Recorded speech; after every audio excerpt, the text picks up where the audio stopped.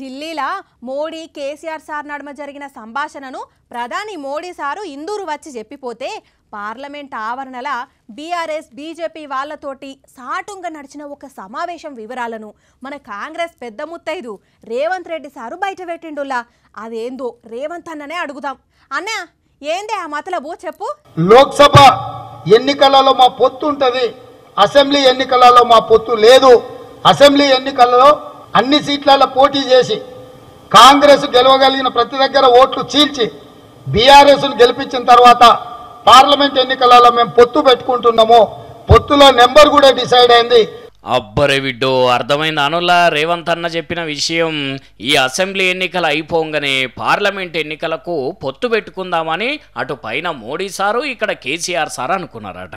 ఆ పొత్తులో భాగంగానే మా సీట్లు పోతున్నాయని అన్నకు రెండు పార్టీలు చెప్పిండ్రట మరి ఇక సల్లకొచ్చి ముంతదాసుడు ఎందుకే అన్న? ఎవరెవరు ఎన్నెన్ని సీట్లు తీసుకుందాం అనుకున్నారో వివరాలు ఉంటే అది కూడా చెప్పరాదు. తొమ్మిది సీట్లు బీఆర్ఎస్కు ఏడు సీట్లు బీజేపీకి ఒక్క సీటు ఎంఐఎం ఈ విధంగా నెంబర్లు కూడా డిసైడ్ అయినాయి. మళ్ళా ఎంఐఎంకి ఎందుకు కలిపినవే? బీజేపీ సోపదంటే వాళ్ళకు పడదు కదా. సరే మీకు చెప్పిర్రు కాబట్టి నువ్వు చెప్తున్నావు కావచ్చు కానీ మరి దీని అంతటికీ కారణం ఏందంటేవే? ఏం లాజిక్ ఉన్నదంటావు? అసెంబ్లీ ఎన్నికలలో ప్రతిపక్ష ఓట్లను ప్రభుత్వ వ్యతిరేక ఓట్లను చీల్చి బీఆర్ఎస్ గెలిపించడానికి బీజేపీ సహకరిస్తే పార్లమెంట్ ఎన్నికలలో పొత్తులో భాగంగా ఏడు సీట్లు బీజేపీకి ఇచ్చి.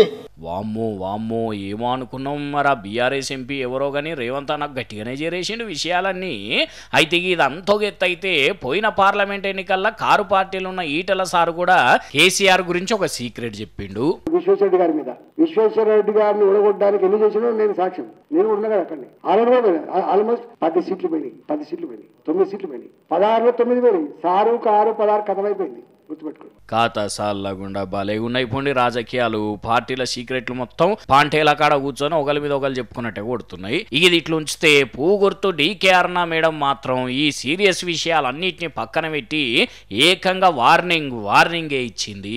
నోటికి వచ్చినట్లలా మాట్లాడితే మీ నాలికలు మడత పెట్టి కూట్టడానికి తెలంగాణ ప్రజలు సిద్ధంగా ఉన్నారని చెప్పి నేను తెలియజేస్తా ఉన్నా.